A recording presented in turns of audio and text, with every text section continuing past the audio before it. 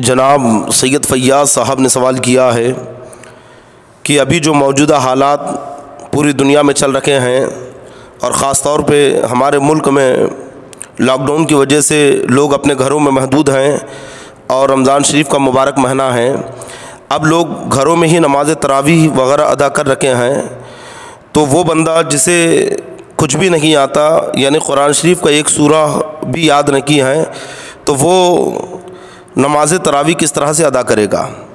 देखिए जनाब फैयाज साहब, बहुत देर में ये सवाल किया गया। यानी जब हालात बिगड़े, मुसलमान अपने घरों तक महदूद हो गए और जब उन्हें ख़ुद नमाज़ अदा करना पड़ रहा है अपने घरों में रहकर तो इस सूरत में ये सवाल उठ रहा है कि अब कुरान शरीफ नहीं आता तो वो तरावी कैसे पढ़ेगा? सवाल भी किया गया तो तरावी के ताल्लुक से, जबकि सोचना ये चाहिए कि वो बंदा जिसे कुछ भी नहीं आता, वो अपनी नमाज़ कैसे अदा करता होगा? जबकि हर मुसलमान के ऊपर कम से कम इतना कुरान शरीफ सीखना फ़र्द है कि उसकी नमाज़ें हो जाएँ।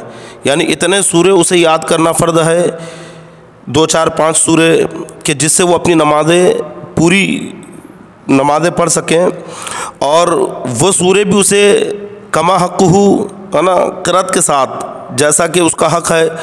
माँ यजुज़ भी सलात, जितने में उसकी नमाज़ हो जाए, इतनी करत के साथ उसे सूर्य याद करना फ़र्द है।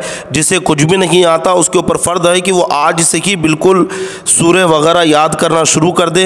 किसी अच्छे पढ़ने वाले के पास, अच्छे हाफिज़ कुरान या अच्छे कारी कुरान के पास बैठें और तजवीद के साथ वो ज़रूरता यानी चार पाँच सूर्य जिससे उसकी नमाज़ें हो जाए, उतने सूर्य याद करें कि उसके ऊपर फ़र्द है, वरना वो गुनाहगार होगा। और अगर कुछ भी नहीं आता तो उसकी नमाज़ें भी नहीं होती और क़यामत में उससे सख्त मुआदा होगा।